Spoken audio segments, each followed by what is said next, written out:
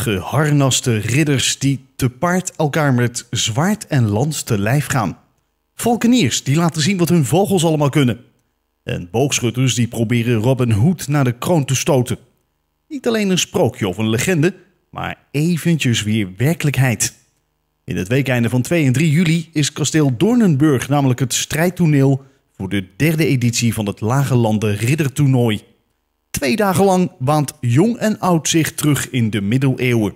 Ontstaan eigenlijk als een, uh, ja, uh, een grap van God, we gaan een riddertoernooi organiseren en eens kijken hoe dat valt bij het publiek.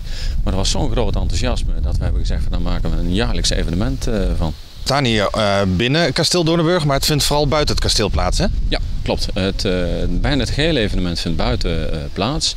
met middeleeuwse kampementen. En hier op het binnenplein zullen prachtige roofvogelshows zijn.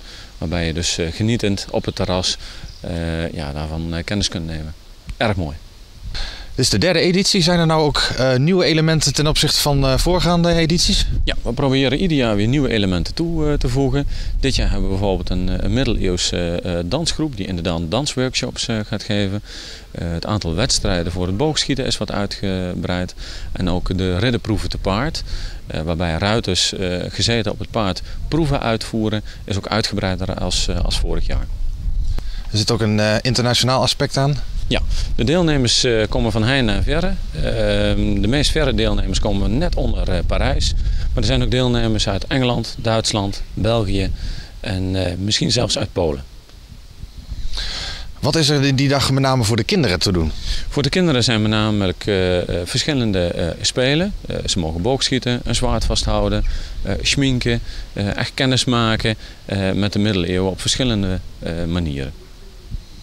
En als kinderen nou uh, graag willen om in stijl hier naartoe te komen, kan dat ook? Ja, zeker. Uh, als de kinderen aangekleed als jongvrouw of ridder hier verschijnen, dan krijgen ze natuurlijk een extraatje. Belangrijk met buitenactiviteiten zijn natuurlijk ook altijd de weersomstandigheden. En als de weergoden ons niet zo gunstig gezind zijn, kan het toch doorgaan? Ja, wij gaan gewoon uh, door. Vorig jaar hadden we een heel heet riddertoernooi met 35 graden. maar ook als het koud is, de, de ridders komen gewoon. Dat mag de pret niet drukken. Dat mag zeker de pret niet drukken. Ridders, roofvogels, jonkvrouwen en ambachtslieden.